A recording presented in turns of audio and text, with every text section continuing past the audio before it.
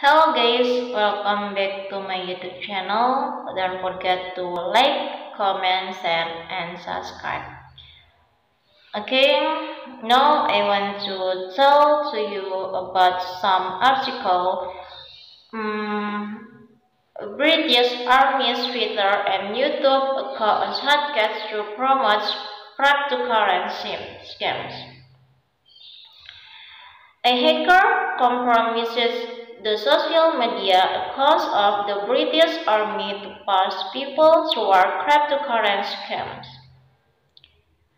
The Army's Twitter and YouTube profiles were taken over by the hacker or hacker, the identity of whom is not yet known.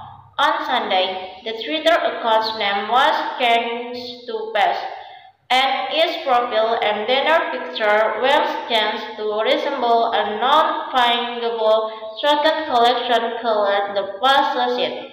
The puzzle sheet of official Twitter account warned users of a new verified SCAM account impersonating the collection of NFTs token representing ownership of pages of online content.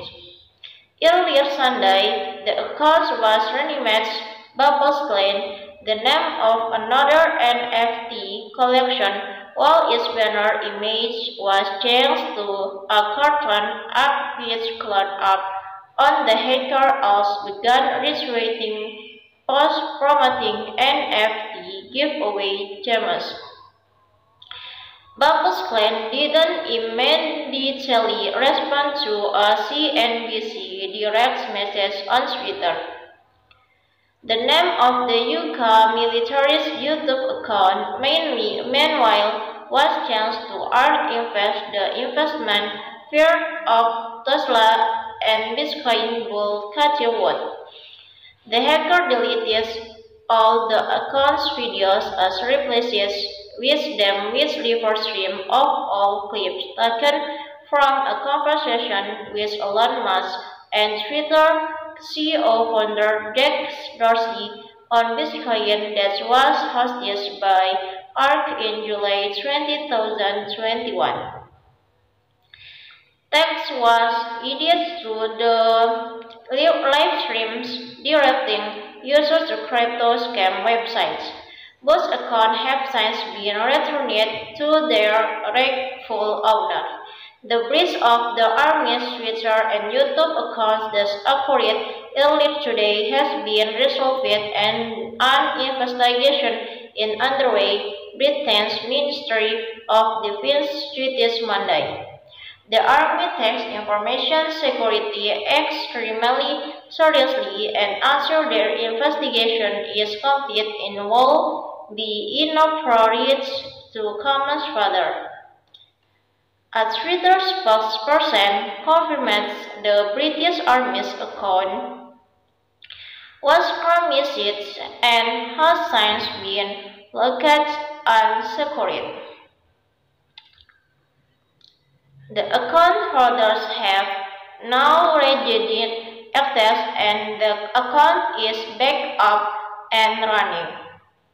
The spokesperson told CNBC via email. A YouTube representative was not immediately available for comment when received by CNBC. Tobias Ellwood a British Conservative lawmaker who chairs the Defence Committee in Parliament, said the breach looked serious. I hope the result of the investigation and action taken will be served appropriately. It's not the first time I have profit, profile social media accounts has been exploited by hackers to promote camps. In 2020, the Twitter account of Musk, President Joe Biden, and numerous others were taken over to swindle their followers of Bitcoin. CNBC Lora Kolodny contributes to this report. Okay, just enough. Uh, thank you for watching and I'm so sorry for mistake. Don't forget to like, comment, share, and subscribe.